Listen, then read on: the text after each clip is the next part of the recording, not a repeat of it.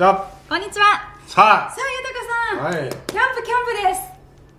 行きたいな。ああれ行ったのってあれ2年前でしたっけ？そうだよ。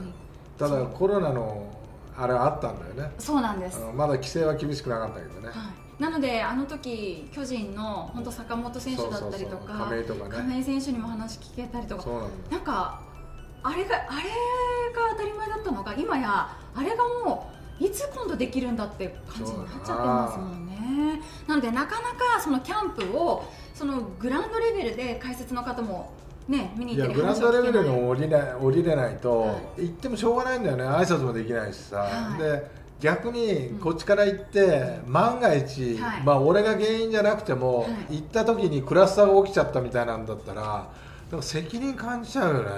そうですよね。うん。ちょっとやっぱり選手にねでもありがたいいことに、はい。今もう本当に全部がテレビで放送されるからな。そうなんです。しかもずっとノーカットで。ノーカットでな。ありがたいですよね。ありがたいありがたい。なのでちょっと豊さん、はい。ここからはですね、はい。えー今年のキャンプのそれぞれ12チームの、はい。まあ、見どころだったり課題ここを見るというそうだね。っていうのを、はい。ちょっとあのポイントポイントを押さえて話していっていただきたいんですけれども、はまず今日はですね、えーセ・リーグ、パ・リーグの昨シーズンの1位、2位のチーム4チームを挙げていきたいと思います、はい。まずはヤクルト。ヤクルト。はい。ヤクルトは、まあ、野手はね現状維持でいいよそこは。現状でいい。はい。で青木の代わりはい。誰にするのか、そのぐらいでいいよ。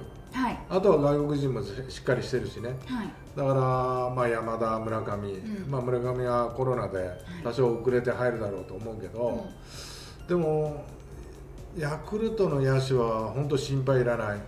そうですで底上げもできてきてる、はい。うん、だから心配いらないんだよね。ただやっぱり延長12回ということで、い。昨年までその1イニング任せた中継ぎ陣、はい。絶対大丈夫とし言って上がってたマウンドがね、はい。もう一人行ってほしいとか、ういろいろ余分な動作が入ってくると思うんだよね、はい。だからかなり大丈夫じゃないとさはい。もう大丈夫にならないそうですね。とだからなんていうの？やっぱ枚数も増やしたいし後ろの、うん。で先発ピッチャーは奥川をはじめ、い。高橋奎二だとか、はい。若手も育ってきてるし、ん。ななんあのそんなに金久保とかもいるしね、はい。若手とか考えるとそんなに心配ではないのよ。やっぱこう中継ぎがこう登板方で昨年来てるし、はい。だからそこを本当に疲れが抜けて、まあ、このキャンプに入ってるのかっていう見極めと、はいあとはやっぱ枚数をちょっと増やしたいよね。だからその高津監督が例えば一軍のピッチャー陣のところに例えば去年起用してなかったピッチャーを入れてたら、うん。その投手を今回あ今シーズンどっかで使いたいのかなとか、うん。中継ぎのさらに要因にしたいのかなとかそういう見るポイントっていうのも出てきますよね。まあ出てくるよ。もちろんうん。あそこのさ、はい。要になってくるのはやっぱ中村になってきたね。あキャッチャーの。キャッチャーの。はいあそこの状態もしっかり把握しておかないと、うん。中村こけると打順の組み方っていうのもはい。思いっきり変わってくるし、はい。流れが悪くなってくる。うん。おだてあげてもいいから、はい。調子に乗させておかないと、うん。中村のなんかこうチームになってきてるもんね。影のね。はい。表だっては山田とか村上とか、はいまあ、そういうことだけども攻守にわたって存在感を示してきてるのが中村だからはい。中村をやっぱしっかりこう手綱引っ張っておかないと、ここに怪我されたりだとか、はい。調子を崩す要因があったりだとか、うん。そういうふうにないようにねブルペンに受けてても仲間がいるのといないのじゃ全く違うだろうしね、うん。らそれだけの存在になっちゃったからねすごいですよね。逆だから本当中村選手が本当に離脱した場合が逆にどうなるのかいや怖いよ怖いよ。だから第2第3のキャッチャーをこのキャンプで少しでもちょっとっていうのもあそうありますか？無理。無理あ無理？まあそれはそこまでそこの域に行くのは無理。俺は一番の昨年の功績は打順だから。あ6番を務められたということもう打ってもそうですもんね。がその外国人の間に入れたということが一番だから、はい。だからここら辺のその、まあ、キャッチャーとしてはね、はい。うんの存在感もあるけども、だからここら辺をしっかりうん。手綱を引っ張っておかなきゃいかんということですね。はいヤクルト。さあ、えー、阪神阪神はね。まあ、結局、はい4番なんだよねはい。4番と守備うん課題はもうとにかくノックを受けなさい数多く、はいそれと連携を少しでも多く練習しなさい。はい。でまあ、そういう感じだよね。特に4番というとやっぱりその大山選手ってことになってくる大山か佐藤かでもいいし。はい。ねで他に外国人を打たすのかとか。阪神は昨年の反省を言えば最初から決めすぎたよね、うんうん。で最初からうまくいきすぎたんだよ。はい。だからその形が崩れた時に危機管理はしてたんだろうけども、当てはまらなくなってききてるんだよねピースがそうですね。うんだから堂々巡りしちゃったというかさ、はい。だから最初はもう不安定でもいいから大体この2人に4番を打たすとか、うん。大体ここここは1番はまあ近本っていうのは決まってるのかな。2番は中野か糸原か。はい。3番は佐藤かだ外国人なのか。あー。4番は大山なのか佐藤なのか外国人なのか。ぼんやりした形だけどぼんやりをしっかり持ってほしいだからそのいわゆる例えば紅白戦であったりとか、うん。オープン戦で例えば毎日日替わりで3番と4番入れ替えてみるとかんこうフレキシブルに阪神はまあ、やってもいいよね、うん、じゃないと絶好調で入って、はい。その勢いでシーズン前半突っ走っちゃったからさ、はい。それがやっぱり1シーズン持たないよねなかなかね。はい。ぼんやりでいいからぼんやりをしっかり分かるこの表あ現わかりますわかります。をぼんやりを、うんしっかりこう構想として持っててほしいしそういう当てはめをはい選手たちも分かっててほしいと思うよね。うん。あとはやっぱミスをしないこと。あ守備でのいやあのーやっぱりどうしても延長12回になってくるとさ、はい。やっぱ失策の数もおのずと増えてくるよね。イニングが増えると。はい。なくなることはないんだよ、うん。まあ、各チームエラーするしね。はい。だけど、まあ、阪神の場合は主だったら多いからさ1個でも2個でも減らす努力をするにはやっぱ数多くのノックとかはい。数多くの連携プレーそういうのをやってほしいなと思うよね、そうですね。うん。投手陣に関しては特に？投手陣はねまあ特にはないな、まま後ろだったありとか。いるよ。あそこはいるいる。あそうですね。まあ他のチームから比べたらだだけどね。はい。だからまあそんなにピッチャー陣は心配はしてないけど、うんうんだからそのピッチャー陣を心配しないためにも、はい。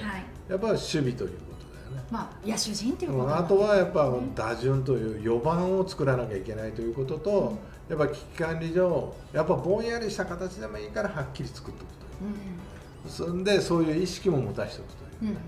まあ、そういうことが大切かなと思うよね、さあパ・リーグオはい。リックスです。うんオリックスあなオリックスははやっぱり2年目のジンクスって言われる人間がい。結構いると思うんだよね、はい。例えば、まあ、宗にしたって宗はそのその前からレギュラーとして出たりだとか、まあ、引っ込んだりだとか、うん。いろんなことをしながら、まあ、昨年ブレイクしたんだけども、はい。まあ、これも一つ2年目のジンクスって言ってもいいと思うんだよ、で紅林はい。杉本。うん。こういうあたりが、まあ、宮城もそうなのかな。ピッチャーでいうと。ピッチャーでいうと、だからそういうこうなんていうのわーっと達成感を持った翌年だけに、はい。その達成感に浸ってる間もなく努力をしこのシーズンを迎えるんだったらいいけども、はい。裕福な感じではい。迎えてるとちょっと足元すくわれるということになるから、まあ、そこら辺の手綱をしっかりキャンプで締めてほしいなと。またキャンプからその1からのスタート。プラスモチベーションをじゃあまたどこに持っていくのかっていうそのキャンプ中のってなりそうですよまあ、そうだよね、だから優勝するっていうのはすごく大変なことだし、もう疲れもしただろうしね、その余韻に浸る浸ってたいと思うよね、だからそこら辺でやっぱ気持ちが緩むっていうのはこれはもう仕方ないことだと思うんだけど、はい。今シーズンまたいい思いをするためにはやっぱこのキャンプが大事だということだよね。選手自体はいると思うし、はい。優秀な選手もたくさんいると思うからだからそこら辺の気持ちさえしっかりしとけば、俺は大丈夫だと思うけどね。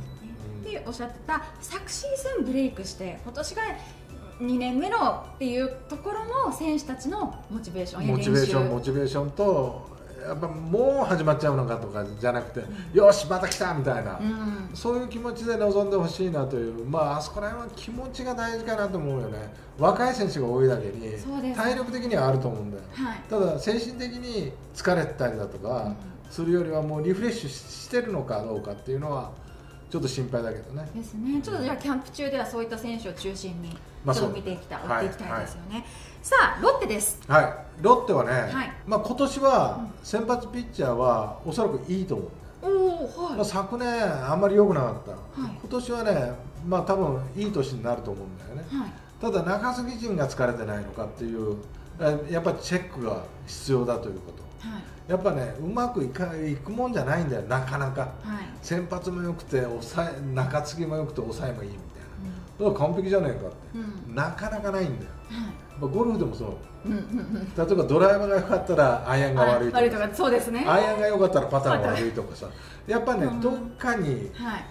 こう欠点というかあーまあそういうこう不都合なところが出てくるはずなんだよね。はいだからそれを考えた時にはやっぱフル回転した増田うん。抑えの。はい。本当に疲れが取れてるのか。パ・リーグであの子だけだからね。